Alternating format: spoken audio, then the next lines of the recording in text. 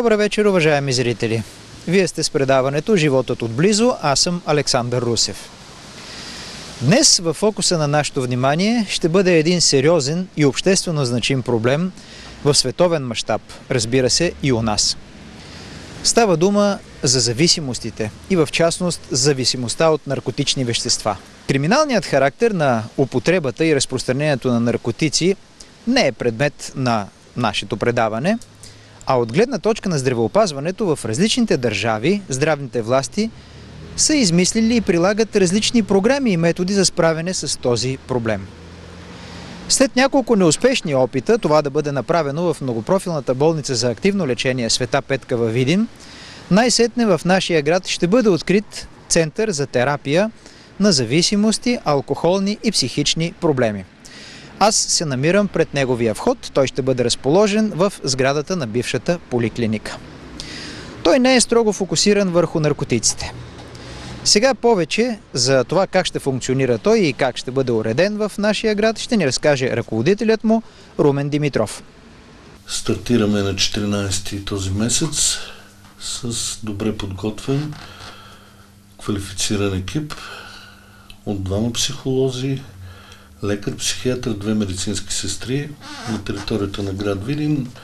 Локацията е на удобно място, отремонтирани помещения с идеята да дадем една нова альтернатива за лечението на лица, които имат психични проблеми, страхово-тревожни разстройства, депресивни, панически, психологични проблеми и зависими лица към психоактивни субстанции, включая към наркотици, от опивия ред и алкохолна зависимост, която се очертава не на последно място една от тежките зависимости, широко разпространен проблем в битието на българина и от чисто културални и битови причини не е оценен като тежест и увреда за самия индивид. На територията на град Видин няма специализирано заведение, което да поема ангажимента за лечение на зависими лица по модел на съвременния комплексен, терапевтичен, психотерапевтичен алгоритъм и затова ние сме приемственик на клиника в София като терапевтичен център за лечение на зависими поведения и други психични и психологични разстройства. Предлагаме пълен набор от лечение медикаментозно, психологично и психотерапевтично, като базисният модел на работа е тандема психолог-психиатър.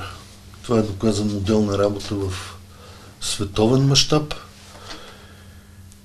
и се надявам нашите потенциални клиенти да се доверят на нашите услуги.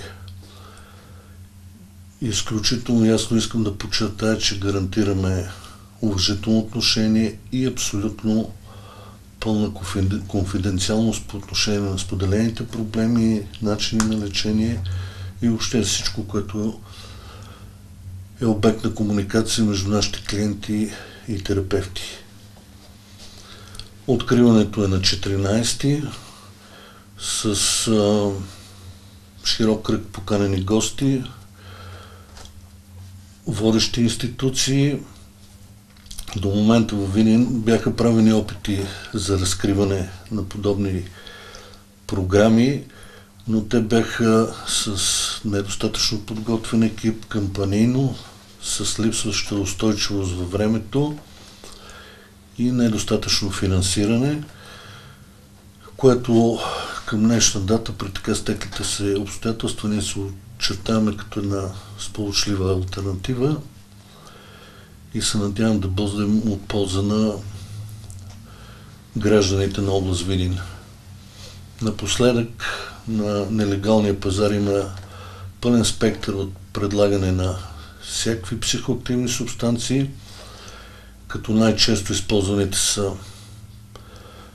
синтетичната дрога, амфетамини, метамфетамини, синтетичен канабис, който по неясни причини съдържа групи от вещества с неясен происход и качество. И най-проблемно вещество се оказва хероина, като и 95% от постъпилите за лечение са зависими към хероин. Тъй като предлагаме и лечение на зависими към опиви вещества лица с метадон, напоследък има излив на нелегалния пазар на метадон от програми, които са изградени на принципите на недобра практика, с недостатъчен контрол и проследяване на пациентите, за ежедневен прием на медикамента, при което се наблюдава излив, предлагане, разреждане, инжекционно приложение на веществото, което е принцип на вредно, по принцип вредна употреба. Модел на клиниката е приемственост между а, клиника в София, която е с повече от 12 годишен модел на работа в областта на зависимост и на психотерапевтичните консултирания, като винаги можем да ползвам техната супервизия и непрекъснато обучение. Контактите в клиниката са упоменати на сайта в интернет, има телефон, има имейл адрес и на място при нас. Винаги ще бъде обърнато внимание, договориран подходящ час и време за контакт и провеждане на лечение. Адрес е Хана Спарух номер 29. Това е източното крило на сградата на ДКЦ-1, бившата поликлиника, отвън. Чисто физиологическото въздействие върху организма чрез приемането на медикаменти не винаги е единствения или най-сполучливия начин за лечение на хората с зависимости. Понякога много по-важно е тяхното приобщаване и социализирането им, работата им в комуни. За този аспект на лечението на зависимите ще разговаряме с психолога Силвия Славчева. Предстоящото разкриване на терапевтичния център във Видин е една уникална възможност за всички граждани на областно ниво, които имат необходимост от оказване на терапевтична подкрепа. Аз не говоря само за пациенти, които идват с ясно формулиран проблем и заявка зависимости, а за една много по-широка група от проблеми, с които ние ежедневно ще се срещаме. Центърът ще предоставя а, индивидуални психологически консултации и психотерапевтична подкрепа на хора с психологични проблеми и с а, различни аспекти на психично страдание – Става въпрос за депресивни състояния, страхови, тревожни състояния, натрапливости. Така че този център наистина е една уникална възможност за гражданите да получат адекватна и професионална помощ. Това, което го отличава от останалите центрове е прилагането на един модел, който е на европейско и на световно ниво, ако мога да кажа, Почерпен е опит, който ще се приложи тук във Видин, като най-работещ и ефективен в работата с зависимости. И това е работа в екип. Една а, комплексна работа, един широко спектърен подход в екип от психолог и психиатър, така че да може да се а, окаже подкрепа, която е най-ефективна за нуждаещите се. Терапевтичната помощ, която ще се предоставя тук в центъра, е на различни нива. Разбира се, при опиевата зависимост водещото е медикаментозното лечение, тъй като е необходима стабилизация на много важни психични процеси и мозъчни структури. Но това съвсем не изчерпва подкрепата към зависимите пациенти същинската част, в която се изразява тази подкрепа, е терапевтичната подкрепа. Тя е в няколко компонента. Тук ще се предоставя индивидуално консултиране, индивидуална психотерапия, групова психотерапия, в, отново в разновидности, психоаналитична, групи, които са насочени към вземане на решения, психодинамична терапия. Добре, да си представим, че срещу вас седне човек с зависимости, който ви е потърсил за помощ, иска вашия компетентен съвет. Върху какво в работата си с него се фокусира психолога? Какво му казвате? Какво правите с него? Подхода е строго индивидуален. Той зависи изцяло от личността на пациента, който идва с актуалната проблемна ситуация и с конкретната заявка. Това, върху което, на което ние залагаме, е не само подкрепа към личността и проблема, с който тя идва и заявява нужда от помощ. Ние акцентираме върху подкрепа на личността и а, семейната ситуация, в която тази личност функционира – към момента, когато търси помощ.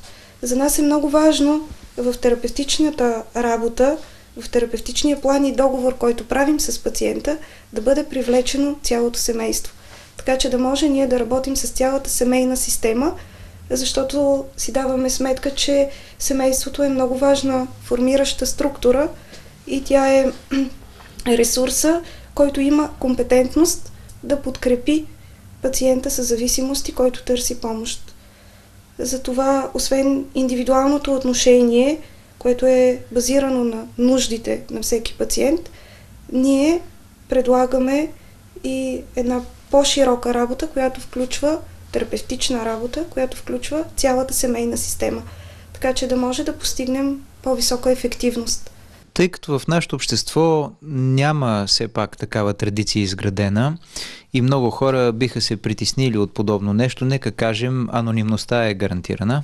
Разбира се, пациентите, които ще потърсят нашата помощ, не би трябвало да допускат и минимални съмнения, че информацията, която се обсъжда тук, не само информация свързана с лични данни, имена, но и семейни отношения, професионални отношения, всичко, което ще се споделя, то няма да напусне сградата на центъра и няма да бъде споделяно по никакъв повод и на нито едно друго място. Това е тема, която се обсъжда само между терапевта, психиатъра и пациента и мястото на обсъждане е тук в центъра. Добре и накрая ще ви дам възможност, тъй като нашето предаване ще се гледа и от хора, които имат такива зависимости и вероятно ще вземат повод от предаването, за да се обърнат към вас, може би ще съберат смелост да дойдат. Затова какво бихте казали на тях накрая? Зависимостта е едно сериозно състояние. И всички ние като професионалисти би трябвало да си даваме сметка колко респектиращо е това, което правим в работата си с пациенти с зависимости. Аз си давам сметка, че когато имаш такъв проблем, достигането до решение да потърсиш помощ е последното нещо, за което мислиш. Поради тази причина, че употребата на вещества, не само опияти, но и различни психоактивни вещества, имат магическа сила и те са агенти, които предизвикват приятни усещания в началото на употребата. Неприятното усещане идва в последствие след години системно злоупотребяване с различни вещества. Тогава, когато самия пациент е поставен в капана на зависимостта, когато не може сам да контролира това желание и а, този импулс а, натраплив, непрекъснато да търси веществото. Давам си сметка, че помощта а, се търси точно в този етап от зависимостите, а, когато се появяват лошите преживявания. Когато вече а, положителният ефект от психоактивното вещество го няма и има само неприятни преживявания и страдания. Ние а, разбираме зависимостта а, като едно сериозно състояние и сме готови да посрещнем хората с този проблем. Стига, разбира се, те да са готови да ни партнират. защото подобна подкрепа се гради само на доверително отношение. Средновековният поет, писател и хуманист Франческо Петрарка има една сентенция, според която този, който има много пороци, има много господари. Посланието трябва да е най-вече към младите. Защото не съществува нито един наркотик или каквато и да е магическа субстанция, която има силата и е в състояние да реши проблемите на човек. Напротив, той сам трябва да ги преодолее, определяйки съдбата си и следвайки мечтите си. Приятна вечер и успешна нова седмица!